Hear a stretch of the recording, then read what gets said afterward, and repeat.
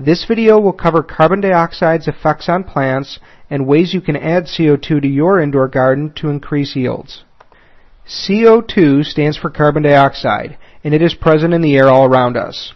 What we call air is actually a mix of oxygen and many other gases, including CO2. Plants use CO2 in a process called photosynthesis, so in a way they breathe. If you increase the level of CO2 in your garden, which can only be done effectively indoors, then you can more than double the rate of photosynthesis.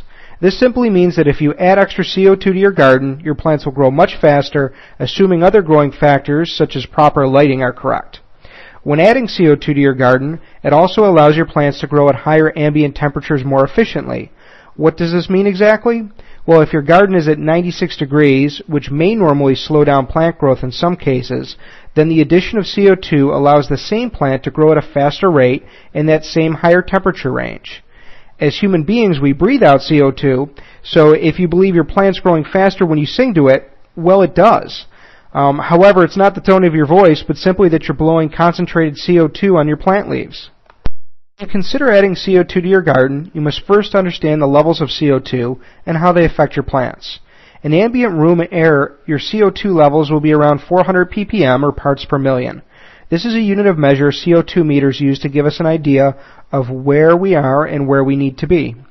When adding CO2 to your garden, you want to achieve levels of about 1200 ppm. This means you want to roughly triple the normal amount of CO2 in your air.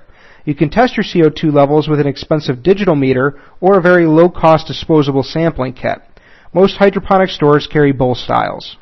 When it comes to adding CO2 to your garden, you have many different options at your disposal, and they all work in their own way. In the diagram above, you can see the most popular options and the main pros and cons of each choice.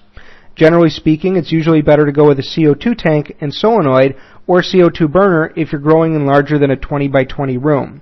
The tank system requires regular refills, so you must have access to a local supplier, and the burner requires either natural gas or propane to power their units. If you're growing on a smaller scale, then your best bet is probably a CO2 boost bucket, which works very well for small to medium sized applications. The other methods work, but have more drawbacks and advantages if you have the funds for a better system. In the spirit of education, I'm going to run through some simple and more complicated CO2 systems in the next few slides. Yeast produces CO2 as it digests sugars, and an easy system can be made to produce CO2 for your garden. The main drawback with this system is that it's relatively short-lived, takes more regular maintenance, and does not produce high enough CO2 to sustain a large-scale garden. Building a yeast CO2 reactor is very easy. First, take a 5 gallon bucket and fill it 3 quarters of the way with water. Then add 6 cups of sugar and 1 tablespoon of yeast from your local grocery store. The yeast generator will create CO2 in relatively high amounts for a period of 10 to 14 days. Next, to distribute the CO2 to your garden, simply run a high-powered aquarium pump screwed to the lid of your container. Make sure the bucket is sealed with the lid on tight and drill holes for the air tubing to come through to the top of the lid. Now attach a quarter inch hose and run it to a stake approximately 6 inches from the top of your plants. This chart shows that the yeast method produces a nice output of around 1300 ppm level, which when dissipated around the plant stays around 900 ppm. Once again, the main drawback of this system is that it only lasts about 14 days. If you're doing a large garden, you will need to use multiple buckets with multiple air pumps. In the long run, this can get very tedious, and the waste product produces some noxious odors. Your main waste will be alcohol, and the reason the yeast system only lasts two weeks is that the alcohol produced kills off the yeast as it builds up over time. Fungus also produces CO2 in very high amounts as it grows, and this is my preference for making a long-term, reliable, and affordable source for CO2 in a small area. CO2 Boost is the only marketed fungus-based CO2 system, but you can always make your own at home. Unlike yeast, a simple fungus bed can produce high CO2 levels for over 120 days or the majority of your indoor growing season. Building a fungus CO2 reactor is relatively simple and cheap.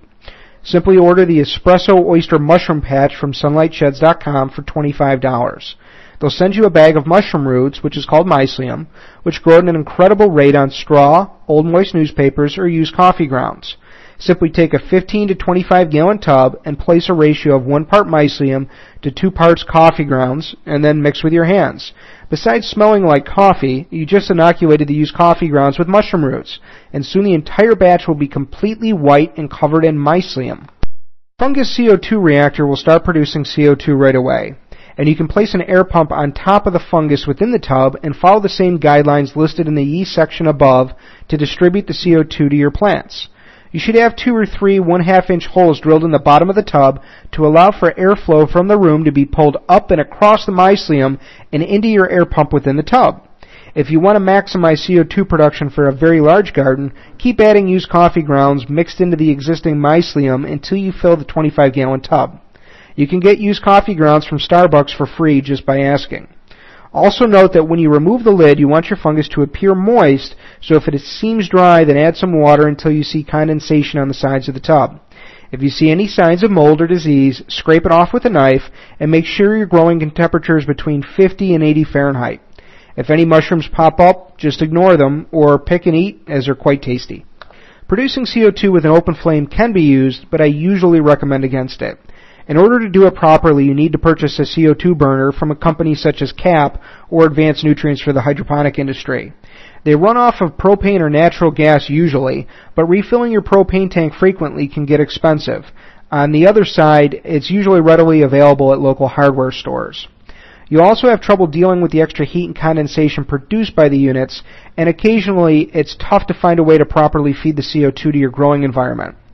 They do produce huge amounts of CO2 though, but with an array of drawbacks. If cost is of no significance and you truly want to crank out CO2 and you're willing to work around the condensation and heat issue, then a burner is definitely a good option for you. A straight CO2 tank can also be purchased or rented from a local welding or restaurant supply company. They require a solenoid which can be purchased from sunlightsheds.com for about $180, which connects to an included timer and a regulator for CO2 output control. This method is the most scientific as far as controlling the exact amount of CO2 going to your plants. But refilling CO2 tanks costs about $30 and you need to refill it every week if you have a high consumption rate. You also must put the system on a timer since constant flow for more than 20 minutes will result in frozen lines from the compressed liquid CO2. Again, this is your best option for larger rooms, anything pretty much bigger than a 20 by 20. You also notice in this chart that the ppm rating is about 10,000 ppm, which is 10 times higher than that with the fungus or yeast. The CO2 it produces will dissipate in the air and keep the CO2 levels around your plants at a truly ideal level, but at a higher cost of tank fills. When it comes to CO2, you have to consider a few things before making the plunge. First, is your crop highly valued? If the answer is no, then you have to consider the cost of adding CO2 and whether it'll make financial sense versus the cost of your plant's fruit production. Second, is your growing environment conducive to it? For example, if you're growing outside, don't bother with CO2. But if you're growing inside and you're not exchanging the air rapidly, then you can afford to add CO2 usually. You'll also need to ensure your lighting system, watering system, fertilizing, and other factors are acceptable or the CO2 will not help overcome those problems. When adding CO2 to your room, typically CO2 is added by forcing it through 1 quarter inch tubing with an air pump or similar device. The quarter inch tubing is always placed above or near the top of your plants. This is due to CO2's properties of being heavier than the air in the room. If you place the tubing on the ground, it would cease to be as effective. Plants only utilize CO2 during the light phase of growth. In other words, you never want to have your CO2 injection system on during the dark phase, as it will have no effect on the plant's growth and be in essence a waste. In closing, please realize that CO2 is not required for an indoor garden to grow properly. It simply sends your plants into overdrive if and only if all the other growing factors are met. Adding CO2 is worth doing if you're a serious grower or if you have a highly valued crop. When considering which CO2 option to choose, you need to consider the size of your grow room, your budget, access to refill supplies, and your comfort level. Either way, we hope this video helped clear up some questions and send you in the right direction. Thanks for watching.